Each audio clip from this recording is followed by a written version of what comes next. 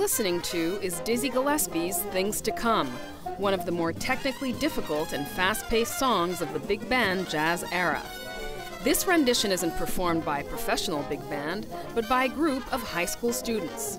This collection of extraordinarily talented young musicians makes up the Jazz House Kids Big Band.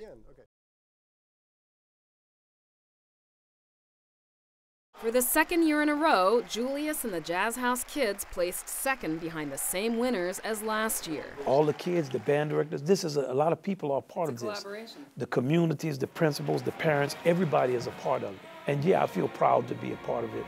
I feel, I feel great that it's Duke's music.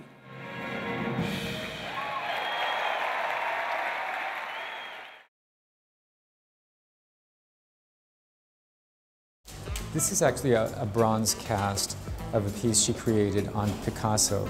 And one of the things you'll see with um, the face and some of the features is that even though her work tends to be kind of rough hewn, Yeah. she always seems to capture something essential about her subject. And so you see, it's clearly Picasso. It's clearly Picasso. Marisol's eye seems to enhance scenes that we're all familiar with. What she does, I think, is bring something of herself. And in that sense, she really stretches the, the idea of pop art.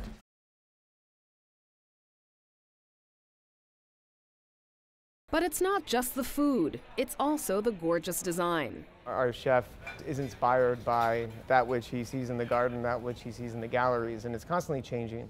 You know, we, we do look at the restaurant even as, as a curated uh, exhibition.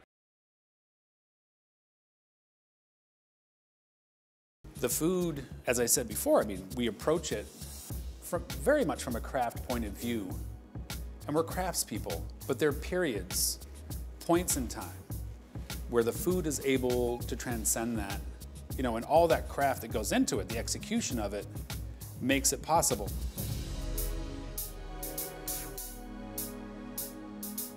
I'm Magali Laguerre Wilkinson for Arts in the City.